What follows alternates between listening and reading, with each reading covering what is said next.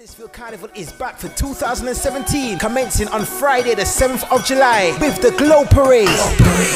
Starting at 12 midnight, jamming the way through the town centre of Huddersfield, rounding off at Hudawi Cultural Centre for the official Glow After Party. Music by DJ Laundry and Sensation Sound. On Saturday, the 8th of July, the parade will be leaving Hudawi Cultural Centre at 1 pm as masqueraders display the costumes to the town centre of Huddersfield, heading back to Hudawi Centre, where we continue the fun with live performing artists, food stalls, bar and refreshments, drumming, workshops, and three music zones. Music brought to you by local DJs and local sounds. Finishing at 7 pm. Then from 10 pm is Huddersfield's official, official Carnival After Party. North meets South, Soca meets Reggae, Extravaganza, dropping the Soca bombs. DJ Bones from Isle of Mass, Mass, Mass, DJ Goffnoff from Empire Sound, alongside Mr. Versatile, Original Major, and Citylink Sound System, the big people's music machine. Now admission is only £5 before 12 am, more after. All this to be held at Hudawi Cultural Centre, Great Northern Street, Huddersfield, Friday the 8th of July and Saturday the 8th of July. Huddersfield Carnival 2017.